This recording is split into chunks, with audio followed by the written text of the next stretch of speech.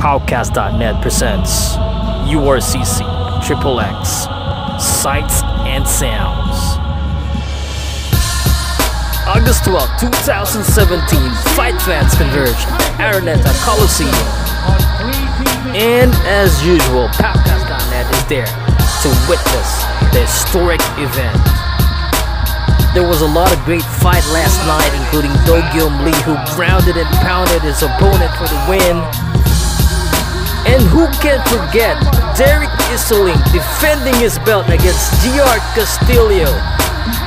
He's so Filipino.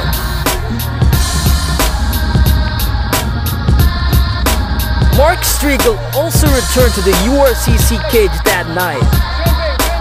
This guy is going to be a problem in his division.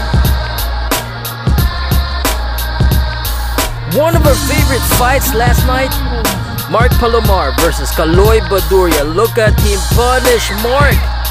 Would you believe this fight ended in a submission? Watch this. In our main event that night, Chris Hofmann, a rising MMA star in the Philippines who practically demolished each and every opponent he faced, including this guy. Look at me, I'm a fanboy. Woo! And of course, the night did not end without the 3 on 3 match. This got us excited like a virgin that's going to do it for the first time. Team Estrosa easily disposes Team Got My Time to get their second win in a row in a 3 on 3 match. Can anyone out there create a team and challenge these guys? Oh yeah, Kiko Matos defeated Billy Jack Sanchez and Fritz Biagdan is our fighter of the night.